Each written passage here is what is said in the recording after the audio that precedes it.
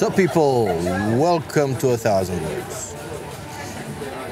My name is Radu, I'm a street photographer and today I'm talking to you about this camera right here, which for many, many reasons could very well be my favorite camera, my desert island camera.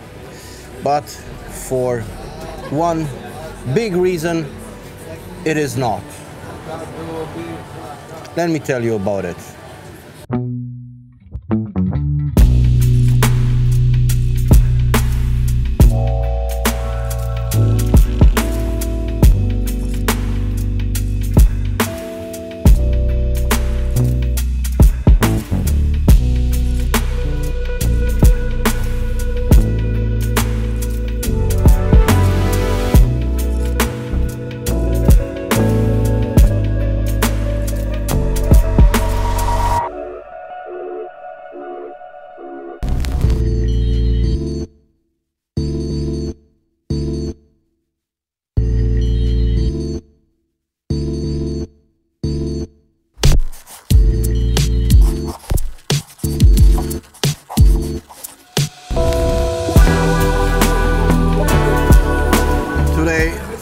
Having Pilsner Urquell again. Cheers, fellas. The fresh, soft bitterness of this beer, this almost sweet, hoppy taste is just fantastic. Really, really love this Pilsner Urquell. Great Czech beer. And I really, really love this camera. I should mention that this video is sponsored by Paul, a dear friend of mine and subscriber to the channel.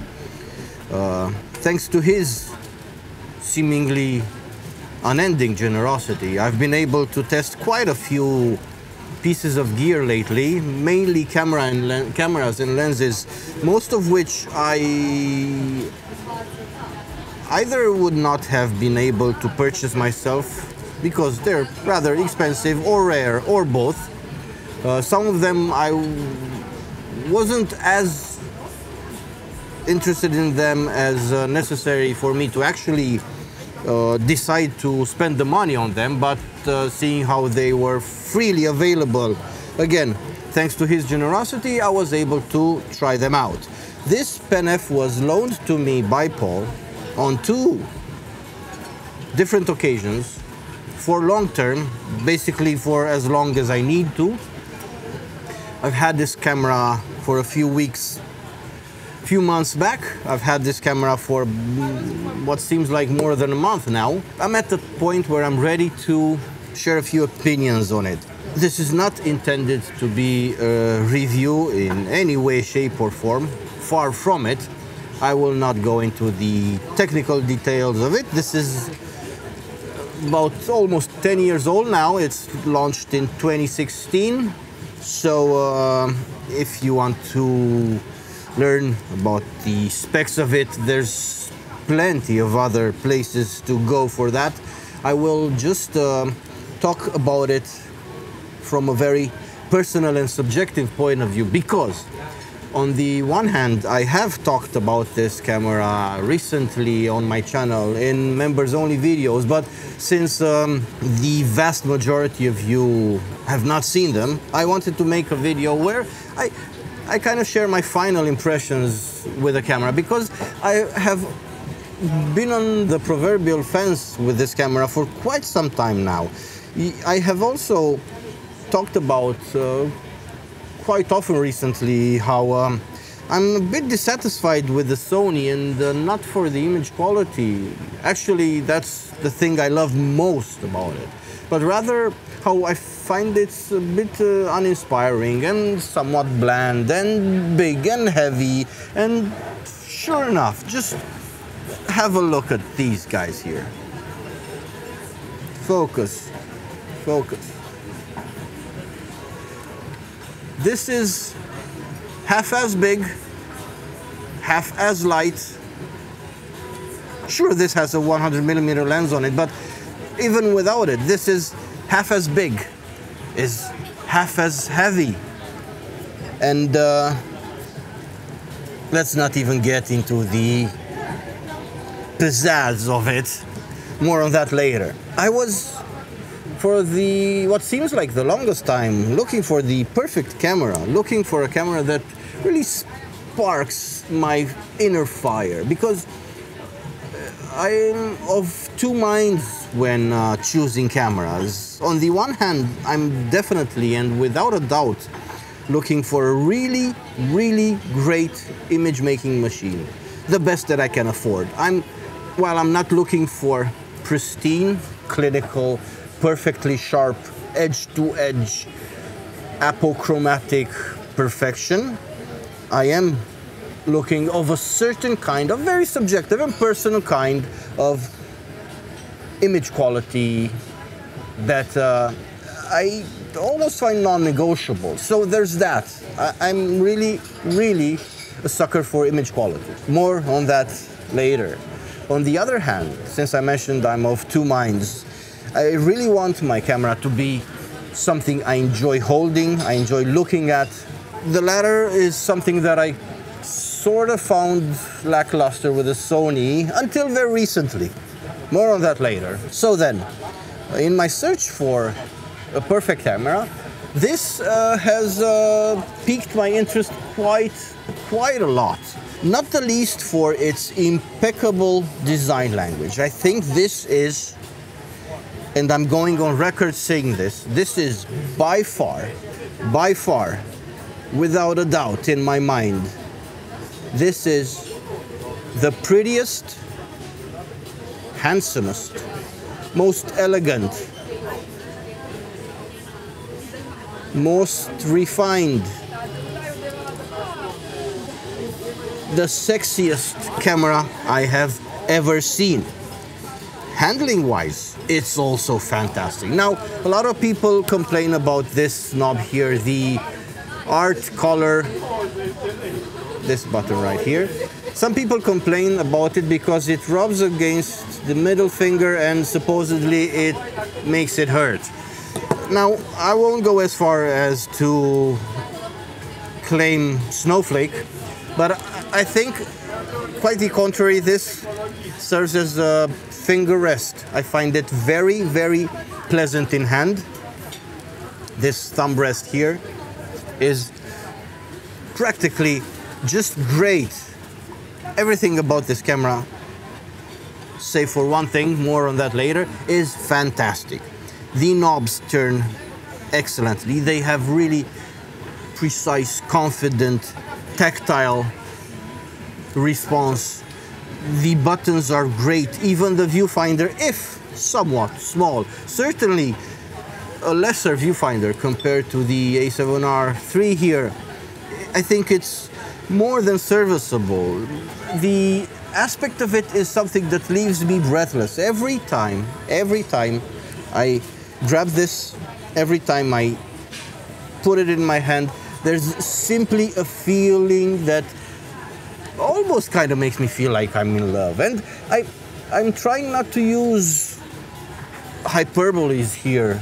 Hyperbole, AE, plural. Yeah, I'm trying to keep a level head, but I assure you, most of these, if not all, are not exaggerations. I really feel like this camera makes my photographer heart jump up with joy. There, there's there's something that about this camera that not even Fuji, not even Fuji. I'll go on record again and say this is much, much prettier than a Fuji. Any Fuji, all Fujis. And I've loved Fuji for quite some time until they disappointed me with their finicky, lackluster quality control issues that make buttons stop working. Back to the Pen F. I love this camera. It's a joy to use. It's small and light. It's beautiful. Coupled with the 17mm f1.8 here makes for killer X100 replacement. I've taken this camera with me on uh, day trips with the girls I mean my daughter and my wife. I've taken this camera to the countryside visiting my mom, doing some work and snapping pictures on the side. I've uh, shot a lot with it at home photographing my baby girl. I've done street photography with this camera. I've practically taken it, taken it through the paces, almost as if it were my own. And thanks to Paul again, because uh, I was allowed such a long-term loan. But um, it, it, it, has allowed me to develop a very strong opinion on this camera. And um, while I often considered replacing my, my full frame A7R3 with this, a Micro Four Thirds sensor, half the resolution, this is 20 megapixels, that's 42, with inferior autofocus, with inferior EVF, with inferior display, with inferior dynamic range. But everything in the name of connection to the camera because I feel a certain a certain closeness to it more so than I do with a Sony. More on that later because things are beginning to look up as far as my relationship with the Sony. Now,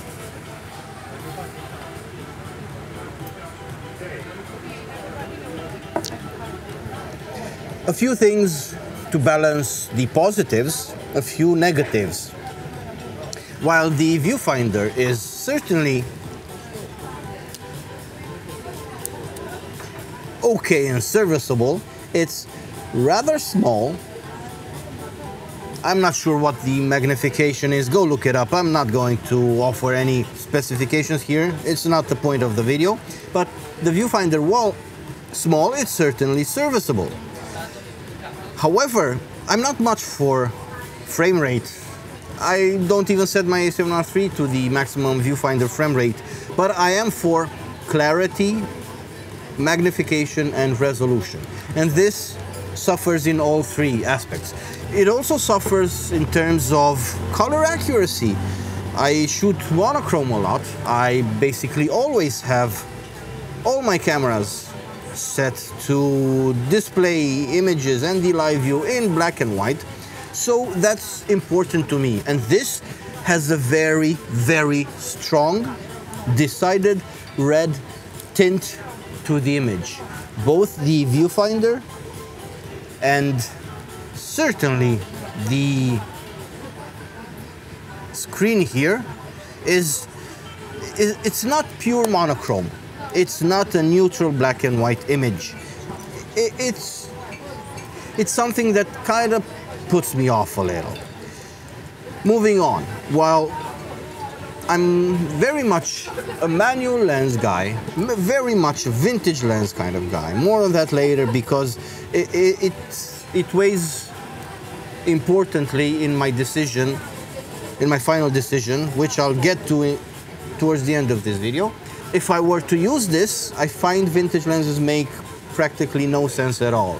Sure, there are adapters, sure, you can use them, but there are two main things that take away all the fun and all the sense out of it. First being the fact that this being a Micro Four Thirds sensor will severely alter the resulting field of view of any vintage lens you put on it. Uh, the crop factor is 2 and it will basically double the resulting field of view of any lens you put on it. It will also basically crop inside the image circle of any lens and that is to say any and all character those vintage lenses I might use have will be thrown out the window because you can say bye-bye to any accuracy and any true proper vanilla character. Since the Micro Four Thirds sensor actually sees a, a cropped part of the image circle, there's no corner character to speak of.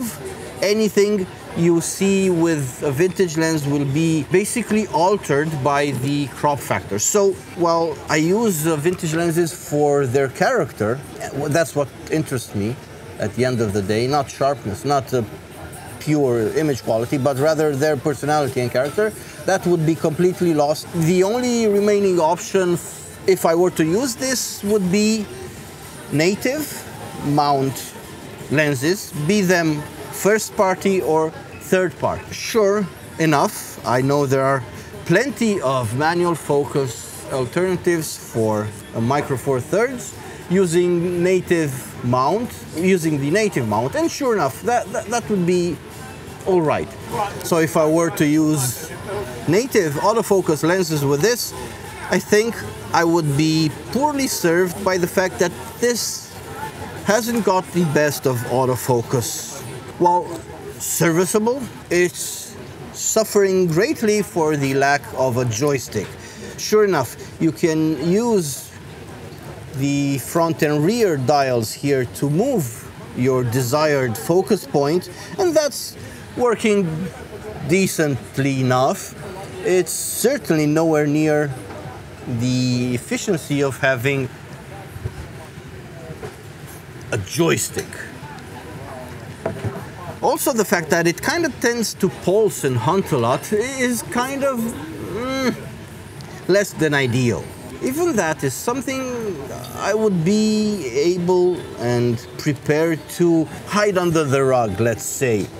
All in the name of looks, experience, handling, and pizzazz, let's call it. Which brings me to the main reason why I eventually decided I can't use this for any serious stuff.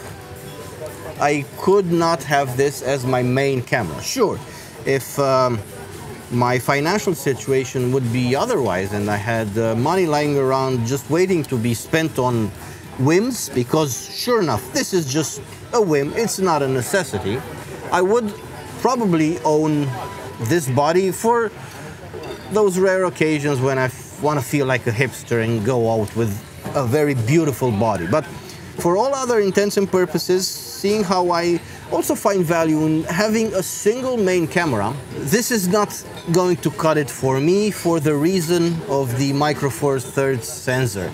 And this is not even the fault of this particular camera, it's the fault of the entire system. Now, I won't be that guy that tells you you can do professional work with the Micro Four Thirds sensors. I won't either be that guy that tells you that they suffer a lot in low light because personally I don't mind noise. I don't mind grain at all. I can shoot this at maximum ISO and I won't blink twice. I don't mind noise as much as I mind the fact that the Micro Four Thirds sensor looks a lot like a very good smartphone camera. Yeah, that's that's how I like to put it because I have recently come to the realization that it's uh, APS-C and up where images start to look good, and full frame is where it's at.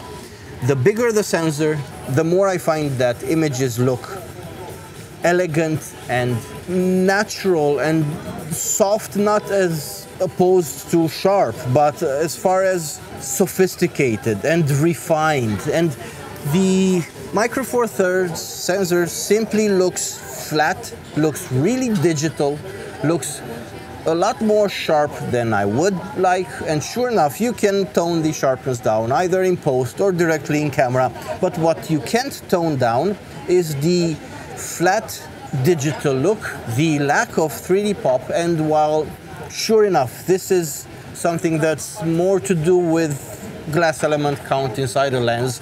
I think the sensor plays quite an important role here because there's certainly a lack of depth. There's a much more apparent perception of depth and separation in a full frame sensor compared to a micro four thirds sensor. So thing is like this. Every time I grab this camera, I feel a little jolt of happiness. I feel good. It makes me feel good. It makes me want to grab it and go shoot and take pictures, be it inside the house with my family, be it outside doing street photography, anywhere and everywhere in between. However, the fun stops when I get home because I like the handling, even with the lack of the joystick, even with the lackluster autofocus. I am actually very, very fond of the entire experience. I enjoy shooting the camera, I enjoy holding it. It's small and light and pretty, and I will keep going on and on about these things for as long as I damn well please because these are things that are important to me and dear to my heart.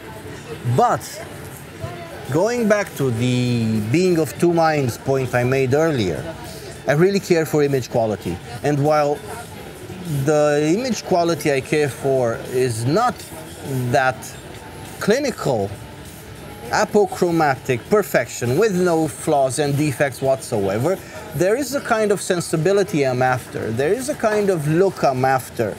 And uh, that look is achieved best and practically only with a full frame and vintage lenses. The fun stops when I bring this home and put the card into my computer and download the images. That's where the fun stops. That's where I feel disappointed. That's where I find the value of a full frame camera because it's not once that that I went out with the camera, had a great jolly old time, only to get back to the laptop, look at the images and be let down by them. Again, it's not the grain I mind, it's not the poorer which is not all that much poorer. Dynamic range ability of the camera, it's the flatness, it's the digital look, it's the fact that images out of this come out looking sharp and not the good kind of sharp. They come out looking harsh, unrefined, rough around the edges, and basically the contrary of what I want my images to look like. That's part of the reason why I don't use modern contemporary lenses on my Sony. It's part of the reason why I like to use imperfect 60-year-old lenses on uh, top of the line in 2018, I think, full frame, mirrorless, high resolution body. And for that reason, I have decided that unfortunately I could not main this. Sure, this is great, is a not even a B cam, a C cam, something you take out on a whim when you feel like you want to be all hipster like. And I'm not even going to get into the fact that this kind of flippy screen bugs me for photography, but at the same time, I find value in turning it inwards and not having any screen here and hiding images. Well, I don't uh, tend to chimp all that much, if at all, lately. Uh, I find value in being able to turn the screen inwards. But I think I've made my point. This is a great camera, but as far as I'm concerned, it's severely let down by the sensor. I wouldn't even mind the poor autofocus. I wouldn't even mind the poor battery performance. I wouldn't even mind the poor, poor-ish viewfinder and screen.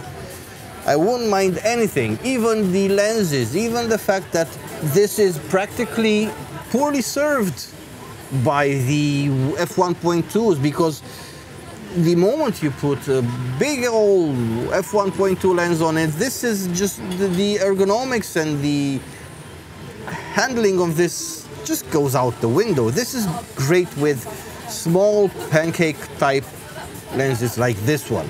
And sure enough, there are a few of those, and I could use them were it not for the Micro Four Thirds sensor. I think I'm gonna wrap this up here. Uh, thanking Paul, thank you Paul again, for allowing me to test this for as long as I want basically. I'm going to be returning it to you soon-ish. I will tease the fact that I want to do another video about the A7R3 because in my last video where I talked about my relationship with the Sony, I basically I uh, was a bit negative and things have improved a lot lately. I have uh, started enjoying the camera, the Sony A7R3 a lot more lately, a lot more. But I'll talk about this in a future video. This is about the Pen F, the camera that could very well have been my perfect camera, but sadly it isn't. In conclusion, wrapping things up, I want to remind you I still have prints for sale. They're gonna be prancing around the screen right now for you to see. Get in touch with me if you want to buy any. I have a Discord server, link is in the description. Get in and let's start talking about photography. I will leave you with a few images taken with this camera. And uh, until next time, I have been Radu. This has been a thousand words. These have been my opinions and conclusions after using this for quite a lot. Quite a lot, even if on and off. Until next time, farewell.